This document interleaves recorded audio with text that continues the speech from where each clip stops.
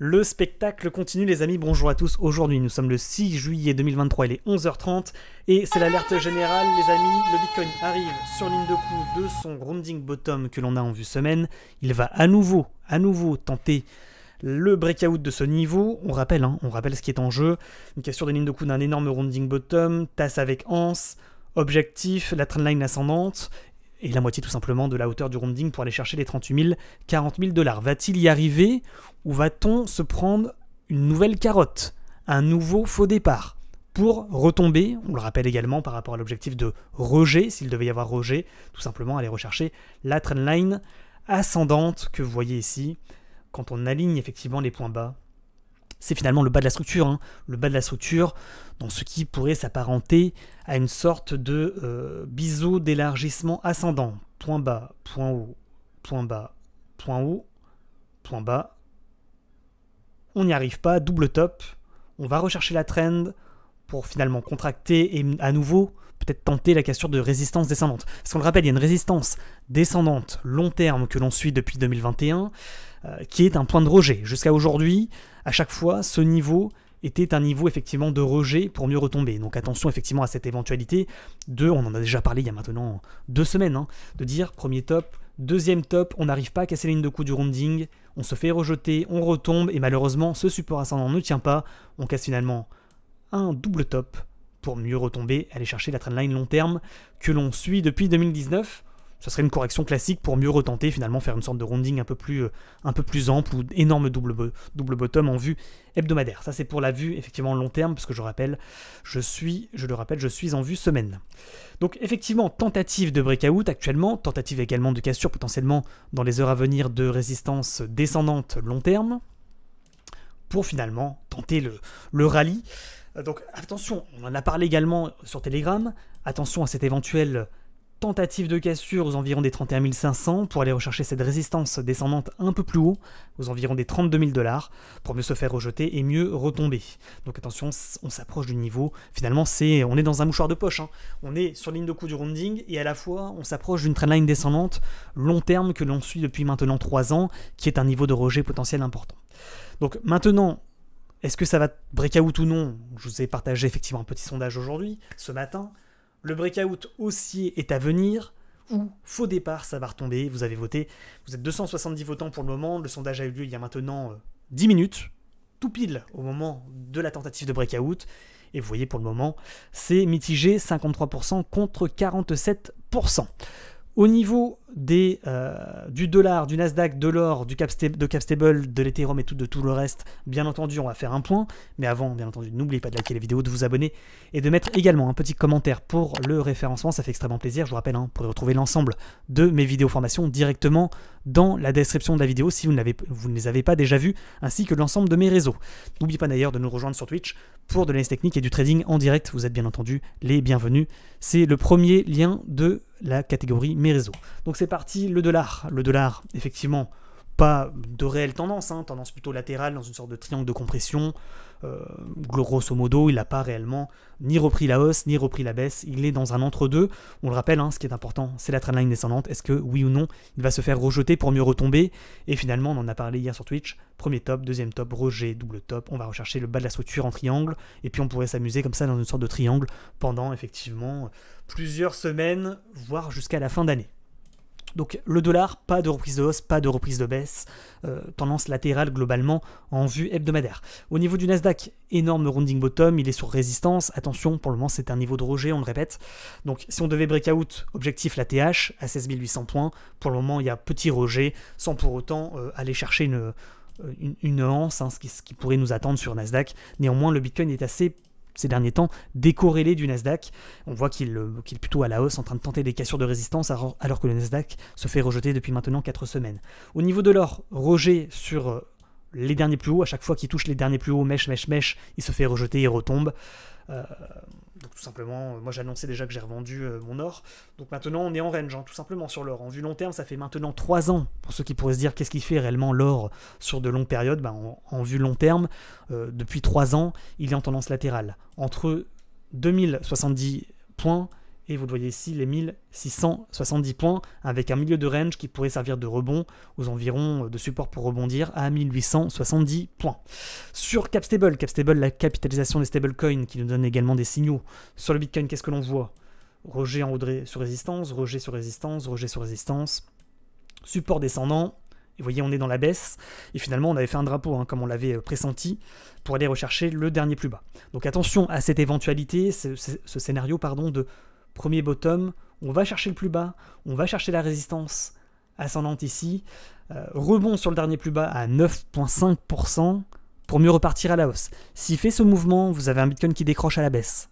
Ça c'est évident. Euh, donc attention à ce rebond à 9.5, ça sera le niveau pivot important sur Capstable. Je vous rappelle, vous avez euh, ce graphique sur, sur Discord, hein, tout simplement. Vous allez dans l'onglet graphique ici, tac, et vous retrouvez effectivement euh, mon graphique sur Capstable, sur Nasdaq, sur le dollar, sur le Bitcoin et tout le reste, bien entendu. Donc attention à cette éventualité de, attention, on va chercher sur le Bitcoin les 32 000, on se fait rejeter, c'est comme si Capstable allait chercher les 9.5, marquer un rebond pour mieux repartir à la, à la hausse, chercher finalement un premier bottom, deuxième bottom, cassure de canal par le haut et reprise euh, de hausse sur Capstable et par conséquent reprise de baisse sur le Bitcoin. Au niveau du scénario, euh, scénario on a corrigé dans un drapeau, on est en prise d'élan, on va casser le dernier plus bas, on va chercher le bas de canal. C'est également une possibilité. Si on fait ce move, si on fait ce move d'aller rechercher le bas de canal sur Capstable et que finalement on casse le dernier plus bas à 9.5, ça voudrait dire que le Bitcoin va chercher, euh, va chercher les 38 000, 40 000 dollars. C'est ça que ça veut dire, tout simplement. Au niveau de Ethereum et tout le reste, bah, il est sur résistance, Ethereum. BNB marque une tendance latérale. XRP rebondit sur le support ascendant. Le DOG, il va rechercher cette résistance, ce support qui est devenu résistance. Il n'arrive pas pour le moment à breakout. Le Cardano, tendance également latérale en vue semaine, comme BNB. Le Matic sur résistance descendante. Le DOT, également petit rebond, sans pour autant euh, marqué effectivement de reprise de hausse. Le TRX toujours dans son canal ascendant long terme, plutôt intéressant toujours. Le SHIB, euh, il vient rechercher sur pullback, il vient rechercher son support devenu résistance également. Grosso modo, rien, rien de particulier par rapport à ce qu'on a vu euh, ces dernières semaines.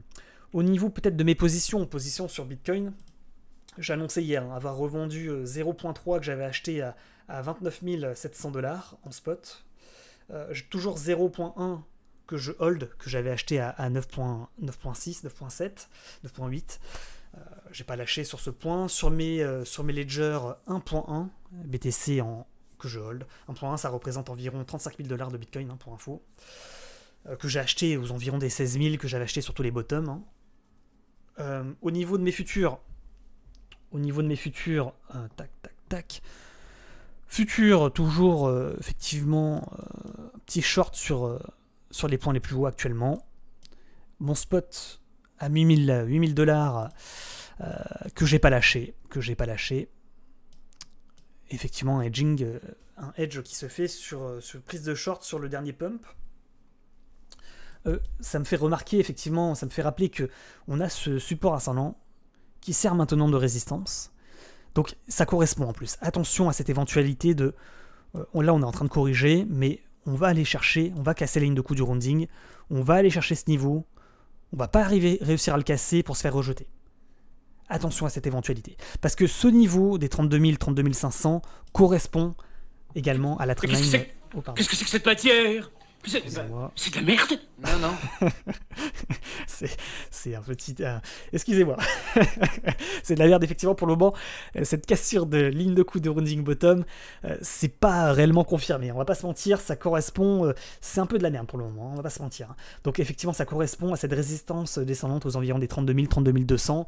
Ça correspond également à cette trendline que, qui sert de, de support résistance. Tac, qui est ici, là, vous voyez, tac, tac.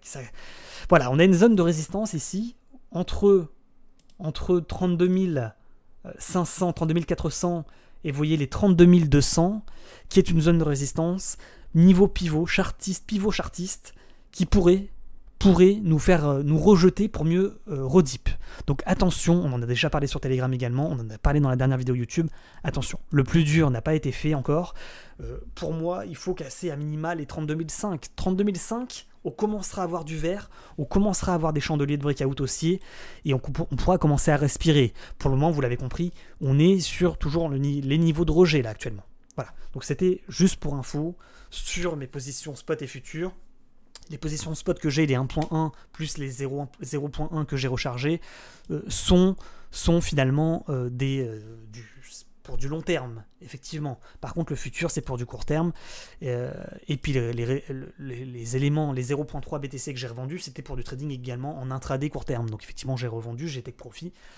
maintenant, moi, j'espère, j'espère finalement qu'on va se faire peut-être rejeter sur résistance pour Deep, ça serait d'ailleurs logique, hein, de feinter la cassure, de redip, d'aller rechercher peut-être ce ici, ce dernier plus bas, cette résistance qui devient support, pour corriger, pour ensuite prise d'élan et retenter la cassure. Ce serait également une possibilité à pas négliger.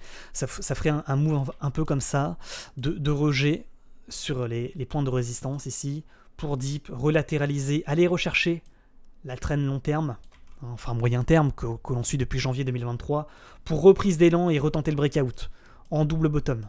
Avec prise d'élan, correction, on va chercher les, les, longues tardifs, c'est-à-dire ceux qui ont, racheté, euh, qui ont acheté entre, 20, entre 30 000 et 31 500, on les punit, on va rechercher la traîne euh, depuis janvier pour finalement faire une nouvelle anse pour mieux retenter la ligne de coup, la question de ligne de coup du rounding. Ça, c'est également une possibilité. Moi, je pense que le point de, reload pourrait, pourrait avoir lieu aux environs des 28 toujours. Euh, voilà pour ce qui est de mes positions, mon avis personnel. Maintenant, s'il doit breakout direct aux environs des 32, tant mieux. Hein. tant mieux. Hein. Et tant pis pour ceux qui n'ont pas reload entre temps. Au niveau des bandes de, Bollinger en vue hebdo, vous le voyez, hein. on est sur un niveau de résistance, on est sur de Bollinger, on est sur ligne de coup du rounding. Évidemment que euh, si on devait réussir à breakout les 32, 32, 5, ça, ça pourrait partir fort en rallye. Effectivement.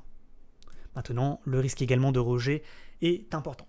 Les amis, j'espère que vous avez apprécié effectivement cette petite vidéo YouTube qui aura duré 11 minutes, même 12 minutes. C'est tout pour moi. Prenez la bonne décision. Petit point également sur les sondages pour terminer la vidéo. Vous avez voté 54-46. Vous êtes plutôt euh, aussi, c'est ça que ça veut dire, hein. vous êtes plutôt euh, partagé. Néanmoins, petit avantage pour ceux qui pensent qu'on va breakout directement la résistance du rounding. C'est tout pour moi. Bonne journée à tous, bon trading à tous. Et je vous dis à très bientôt sur YouTube et sur Twitch. Bien, à bientôt. Ciao, ciao.